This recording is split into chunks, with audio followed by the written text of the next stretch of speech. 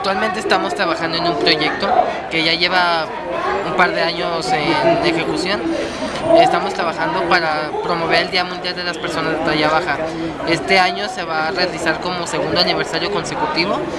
Este proyecto nació a partir de, de una base de ideas para concientizar a la gente más que nada, que no somos personas como medio del espectáculo, que tenemos sentimientos igual que todos, que sentimos igual que tú, igual que yo, igual que cualquiera. Eh, merecemos el mismo respeto que como toda la sociedad.